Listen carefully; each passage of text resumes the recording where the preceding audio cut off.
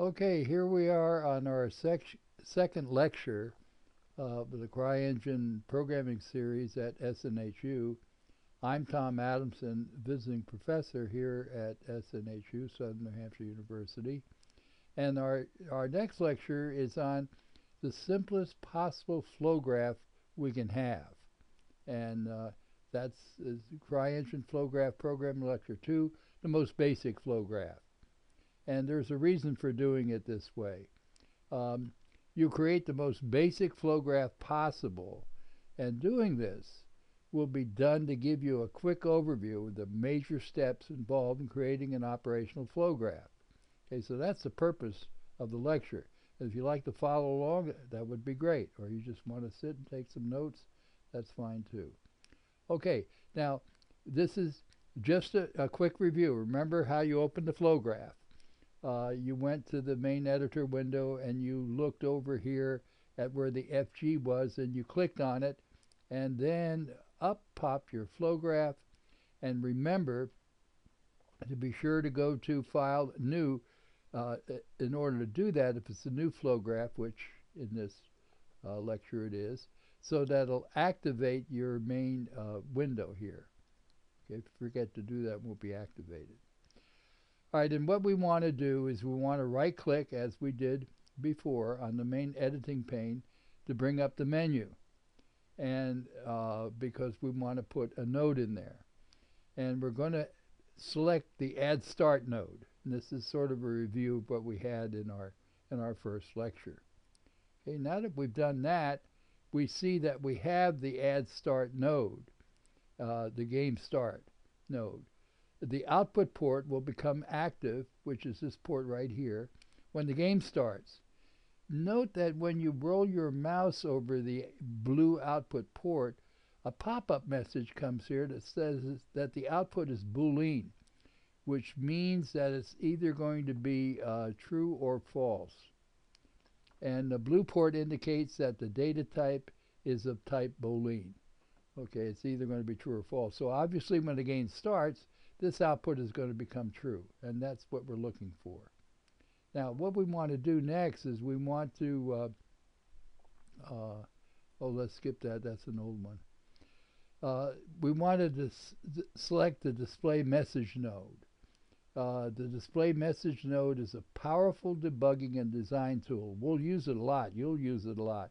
It's a way of testing your flow graph design actually to test exactly what is or is not getting activated in your flow graph. So the way we get to it is we use our, our pop-up menu when we right click. We're going to add the node and we scroll down here to the debug and then on the debug uh, we have all of these different nodes that we can use and we want to use the display message node. So that's the one that we're going to click on. Now when we do that up comes our display message node, which is under the, in the debug category. And there's two things we want to change. We want to change the message, we want to add hello world with an exclamation mark, and we want to change the font size to 9. And the way we do that, we come over here on the input parameters.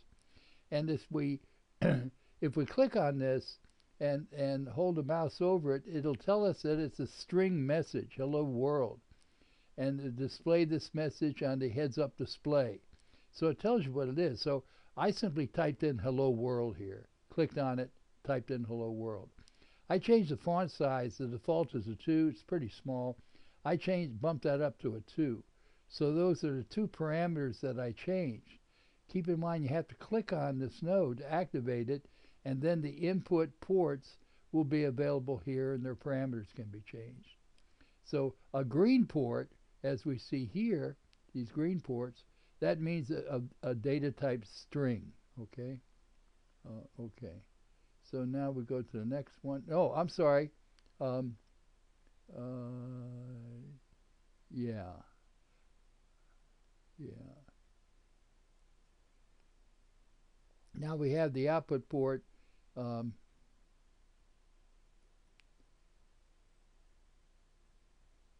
means any, uh, I'm sorry, the green means any uh, data type. I, I said string, it really doesn't. It means any data type. I can put any data type into the green ports here or any data, get any data type out of here. So that makes it very flexible. Okay, I thought I made a, a goof on that. So here I have a Boolean data type going to the green uh, show uh, uh, data type, which will take any data type. And the way I did that, I went from the output port here, held down my mouse, my left mouse button, and dragged this arrow over here to the show. And so that's how I connect it. So now when the game plays, when the game starts, it will tell this um, input port on this node, on the display message node, to show the message. Okay? And and I guess what that will do for us, that will tell us that the game start uh, node is working. All right, so now I go to the main editing win window and left click on it to activate it. There's my main editing window.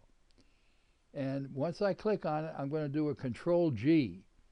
And when I do a control G, uh, that gets me into the game. And what I see here now is the message, hello world. Well, when I see that message, that tells me that the start node is working correctly. It also tells me that the display message node is working. So you will now see the message, hello world, you typed in the message port parameter of the display message node in your graph. Uh, and this is, again, the very simplest type of example that, that we can have. Okay. What I want to do here is I want to add a comment. It's good practice to add comments to your flow graph. And you want to use these to help remind you of the important details that are necessary to understand the purpose of your flow graph. Programmers use comments when they when they write programming code. Uh, the there's a lot of reasons for it. One of the main reasons when they come back to it weeks or months later to modify or update or whatever the case may be, uh, it's a memory jog that, oh yeah, that's why I did this. So you want to add a comment to any of your flow graphs that you have. And the way you do it is you go uh, and you right click on the screen here and uh, you get the, the pop-up menu. You put add comment and you can, there's three different kinds of comments which we'll cover, but right now we're just going to add a simple comment. Okay. And when you do that, you'll see a little pop-up window that says this is the comment. All you need to do is go over this and type in what your comment is and then uh, press the enter key. So now there is your comment. My first flow graph shows a simple message when the game starts. And you can see there's the game start uh, node here. There's the output port connected to the input port of the debug message. This is a Boolean type. And as we saw when I corrected myself, this takes any kind of data type. Okay. Now, another important part of this is be sure to save your completed flow graph. Obviously, you go to File and you go to Save As. Now, here's an important point that many people aren't too aware of. Flow graphs are saved as XML files. You'll see that it's saved as .xml. What I did is I made the name of my flow graph the message using camel case. That is the first letter of a word is lowercase, and then any other words within that, uh, the, the first letter is always capitalized. So we'll learn about XML files in this lecture series and how to use them to fine-tune uh, your, uh, your flow graphs. Okay. Um, thanks for your attention uh, on this lecture. Uh, I'll be, after this lecture is over, I'll be happy to answer questions or go back and review any section of this. That's it for this lecture two.